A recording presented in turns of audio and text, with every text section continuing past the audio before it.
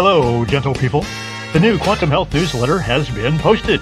We're covering restoring or finding that sense of purpose, getting to a flow state, three rules for getting everyone to understand you, vibrant living adventures, conscious breathing, life energy chronicles, life really is fair, health and healing hack of the week, yoga asanas, quantum healer of the week, Dorota Rosmus. Company and product news, we've got a new pop up on the store website that reports new daily deals. And the coolest stocking stuffer yet, the 2 ounce travel size of Clean Sweep.